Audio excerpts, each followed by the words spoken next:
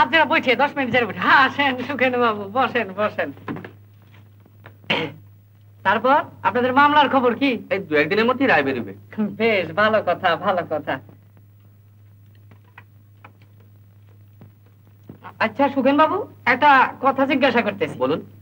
আপনাদের কর্তৃপক্ষ তো শুনেছি খুব পয়সাওয়ালা লোক। তো তাদের সঙ্গে লড়তে গেছেন কি ভরসায়? ভরসা আর কি?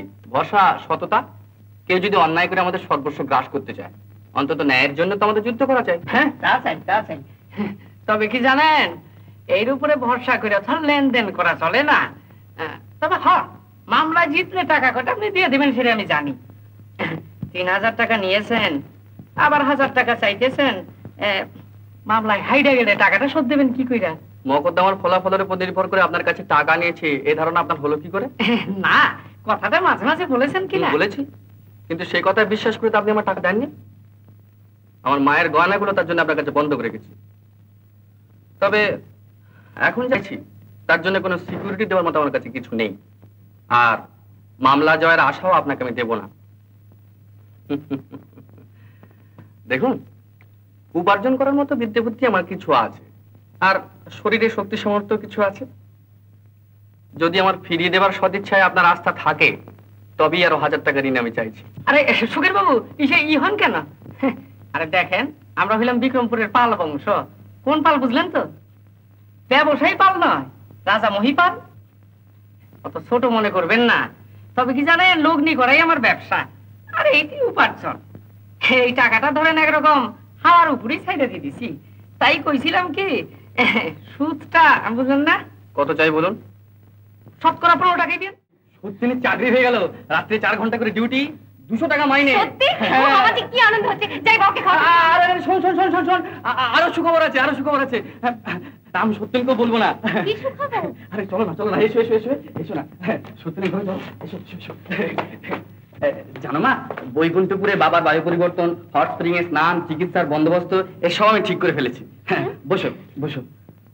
আর আর এই এই দেখো এটা হলো শ্রীকুমারের ঋণ শোধ সত্যেন ও এই নে। আর শোন কালকে বাবার চেঞ্জে যাওয়ার বন্দোবস্ত করতে আমি ব্যস্ত থাকব বুঝলি?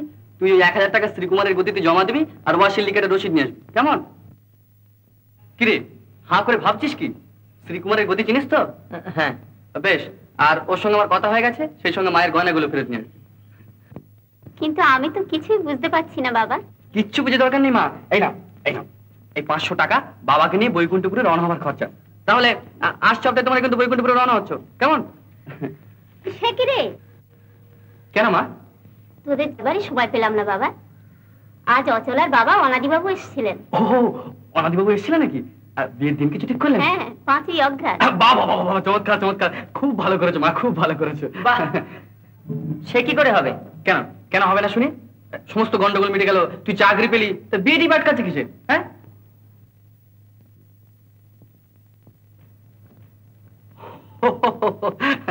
তুই আমার জন্য ভাবছিস? আরে আমি তো অনুমতি কবেই দিয়ে বসে আছি। কি বলো মা? কিন্তু আমার বিয়ে কি বাবার চিকিৎসা চাইতে জরুরি? সে কথা তোমার বাবাকে জিজ্ঞাসা করো তিনি যখন স্থির করেছেন তখন তো আর আপত্তি করা চলে না? হ্যাঁ নিশ্চয়ই। মা তাহলে তোমরা সত্যনের বিয়ে না হয় এক মাস পরেই রওনা হবে। আর তাছাড়া তোমাদের সেবা শুশ্রূষা করার তো একজন লোকের দরকার হ্যাঁ? কি বলি সত্যেন? হ্যাঁ সত্যেন টাকাটা কিন্তু জমা দিতে ভুলিসনি ভাই। কালকে বাবার যাওয়া হোক আর না হোক তোর বিয়ের ব্যাপারে হয়তো তোমাকে ছোটাছুটি করতে হবে। কি কিন্তু সুখেন? মা? তুই হঠাৎ এত টাকা কোথা পেলি বাবা?